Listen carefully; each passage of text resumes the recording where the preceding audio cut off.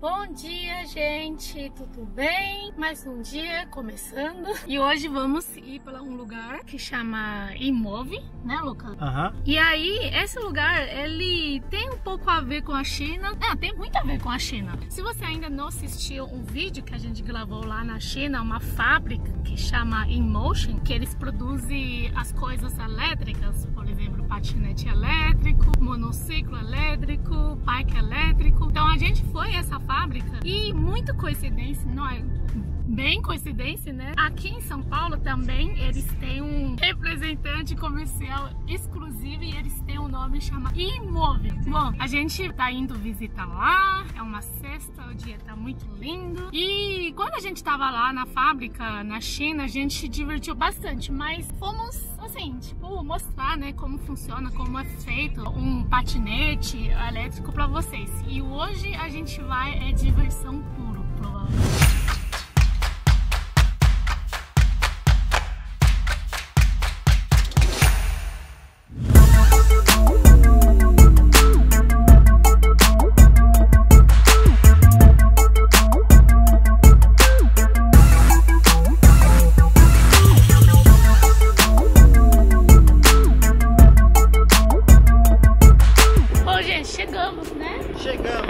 Gente, na verdade, passou um pouquinho. Aí eu vi, opa, chegou em uma loja.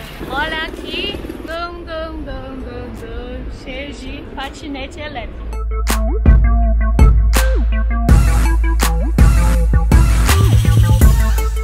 Estamos aqui na Emove. Olha ali, tá escrito Emove ali em cima. Estamos aqui com o Gustavo, que é um dos sócios da Emove. E eu queria te fazer uma pergunta. Primeira vez que você foi pra China, como foi? Foi diferente, bem diferente, principalmente no aspecto de alimentação, né? Eu lembro que no primeiro restaurante que eu fui, eu perguntei pro pessoal assim o que pedir, né? Porque eu tive uma experiência anterior que a comida lá é muito apimentada. Aí eu pedi assim pra graduar de 0 a 10 o quanto apimentado era. Eles falaram: "Não, isso aqui é 2 apimentado". E eu não consegui comer nada, nada, porque era muito apimentado. É, isso, isso é um, um problema, entre aspas, recorrente, porque você pode ir pra China várias vezes, o seu nível de pimenta nunca vai ser igual ao da Cici. Eu tenho que te levar para um restaurante da Liberdade, chama Hot Pot. Pelo nome, já dá pra imaginar. Então, mas o, o Gustavo tava aqui contando pra gente a história da, da Emove, a história dele também, né? Já trabalhava com energia antes e aí identificou uma oportunidade nesse transporte elétrico quando viu um cara subindo uma ladeira com monociclo e aí resolveu entrar em contato com a China, né? Conta um pouquinho como que foi essa história. É, foi um contato feito pela internet, né? A gente enviou um e-mail para um pessoal da, da fábrica da Emotion e a partir dali que a gente começou a entender um pouquinho melhor como funcionavam os produtos e a gente viu um potencial muito bacana, algo que tem potencial de mudar um pouco da rotina das pessoas. E a gente iniciou esse trabalho mais ou menos finalzinho do ano de 2018, de 2017, desculpa. E estamos aqui agora no, no ápice disso, né? Que tá, tá acontecendo bastante isso nesse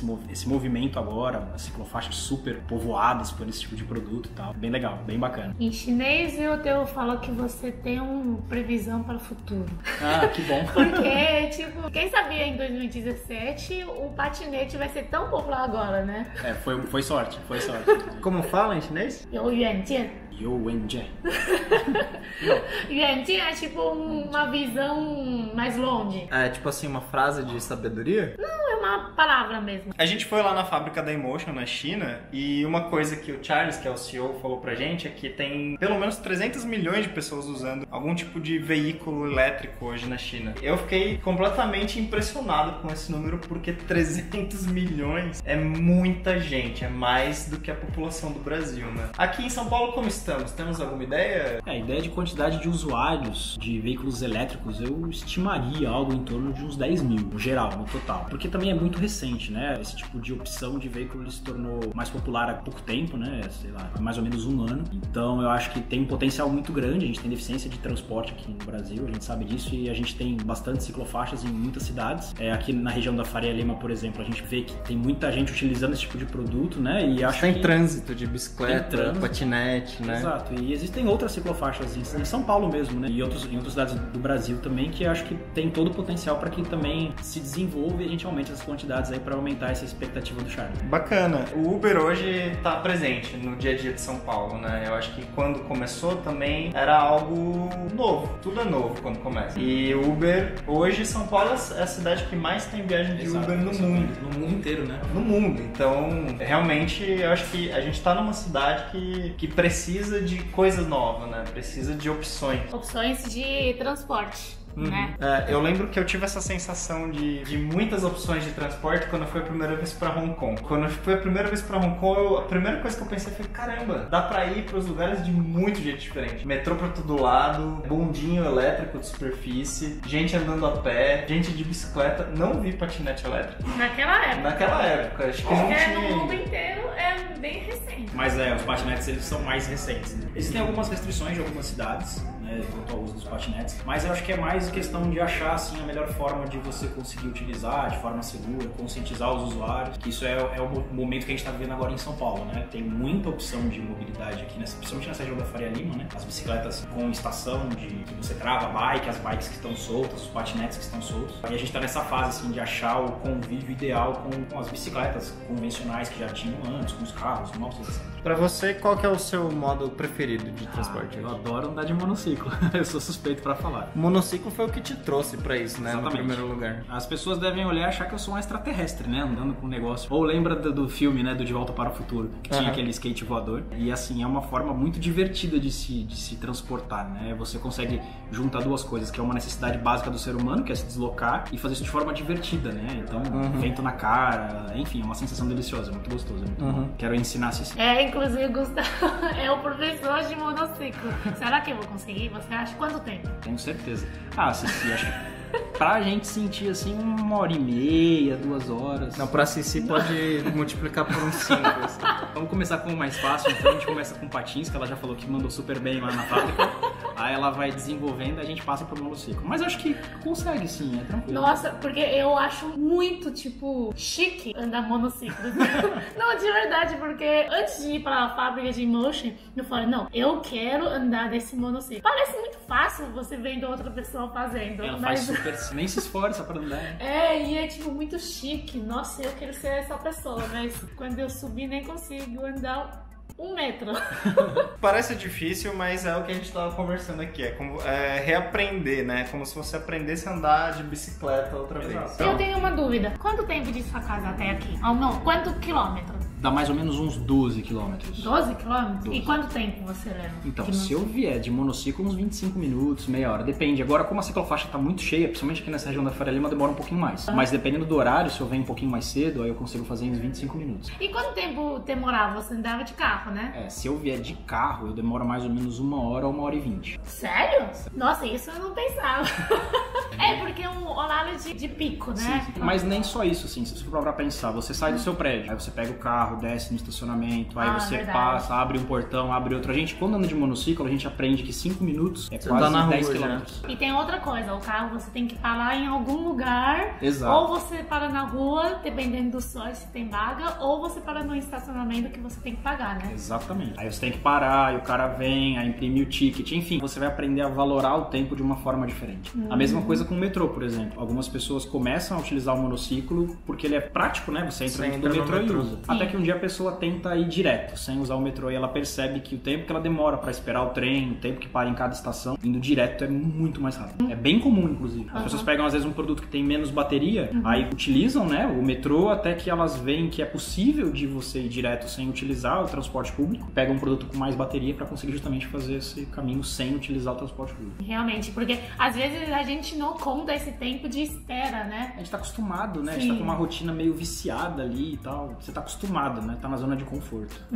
Vamos andar de monociclo? Eu quero andar de monociclo. Eu também quero, vamos ver. Acho que eu vou cair, mas eu, mas eu quero. Mas pode cair? Cair faz parte. Na verdade, no treinamento a gente explica que quem cai é o monociclo. A gente explica direitinho como funciona. Se você se desequilibrar por qualquer motivo, você só deixa o monociclo cair. A gente não tem, até hoje, a gente já treinou aí centenas de pessoas, histórico de acidente em treinamento. Isso é muito importante. Será que a Cici vai ser a primeira? Ah, não, mas eu. Aí deixa eu trocar roupa. Então, obrigado, Gustavo, por receber a gente aqui. Obrigado a todos aí. E é isso aí. É Isso aí. Ei, Cici! Onde estamos agora? Estamos no estúdio toque. Aqui é cheio de emotion, cheio de produtos. Olha isso. E olha o que, que a gente tem. Tem mais um produto além de patinete. É um patins. Ah! Um patins elétrico. Você já andou? E você é eu, bom? Você, eu nunca, eu não andei. Lá só você testou, eu não. você não testou? É, eu testei né, lá no, na China, no Emotion, mas é assim. Testou. Essa posição, como eu não consigo ver seu pé que está de tênis, Hum. como se seus dedos estivessem pra fora, assim, sabe? Ah. Aí vai transferindo o peso do corpo pra frente, isso. Aí põe a outra perna. Boa. Agora. Essa Mas- perna. tira, tira. Vamos pular. Eu já consigo subir. Isso é uma grande avan- avanço. Né? Ah, Olha! Deixa ele, deixa ele. Se ele sair andando, você pode deixar ele. Vai, Ajuda aqui. Pronto. Só cuidado com essa. Vai. Você, você, você me pressiona. Tirei a mochila em cima do negócio, hein? Ó, pelo menos eu tô em pé. Hum. Tenta colocar o seu corpo, projeta o seu queixo um pouquinho pra frente. Caramba, cara. Muito bem, olha a situação. Eu tô com a bicicleta, Gustavo tá aqui com o monociclo, fiel companheiro dele, e a Cici de patinete. E à nossa frente, as ruas de São Paulo.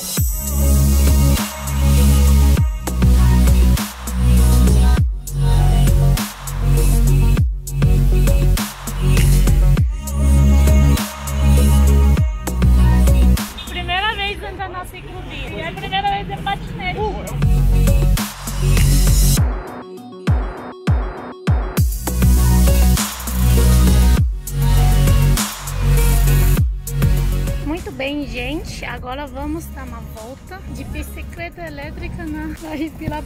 Olha, já começou mal.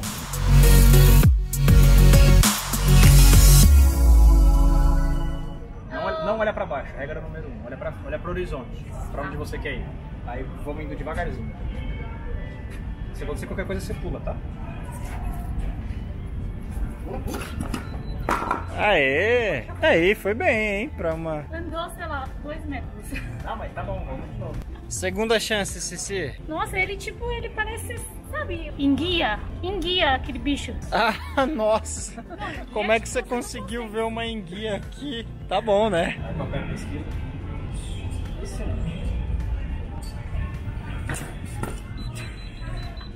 Precisa pegar jeito. Você tem que ser sensível igual a ele. Porque eu não sou sensível, eu acho. Você não é sensível? Não. Aí, Cici. Agora anda. O segredo é você fazer pose de Superman. Sai da frente! Olha a pose do Lucas. Parece que vai soltar um pum. Nossa, o Lucas tá fazendo uma curva.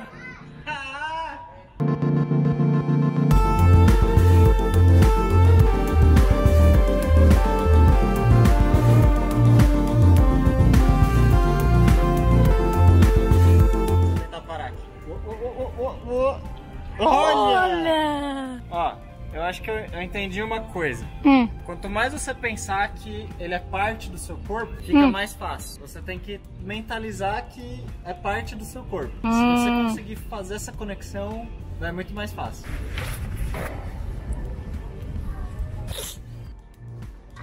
Boa, foi ótimo. Ajusta agora o pé esquerdo. Faz quando você tá apagando o cigarro, vai dando uma esfregadinha com ele até posicionar e deixar os dois. Boa. Agora é fazer aquele movimento de pêndulo. Nossa, mas eu tô em pé já. Que demais. Dá vontade de soltar a mão e sair andando, mas ainda É, não. é importante treinar um pouco. Aí, Nossa! Eu tô evoluindo aqui. Sim, eu tô vendo. Por enquanto eu tenho que dar as mãos aí. É, tipo, tá aprendendo bicicleta. Já que tá pronto, vai. Vamos, vamos sair da inércia juntos. Aí a hora que você estiver equilibrado, vai.